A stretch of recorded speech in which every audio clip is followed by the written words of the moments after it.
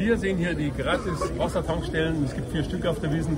Ich fand einfach, dass Wasser auf der Wiesen zu teuer ist. Deswegen haben wir als Stadt dieses Jahr erstmals gratis Wasserzapfsäulen installiert. Ich lade alle gerne ein, die für ihre Familie Trinkwasser brauchen, sich hier gratis Wasser zu holen.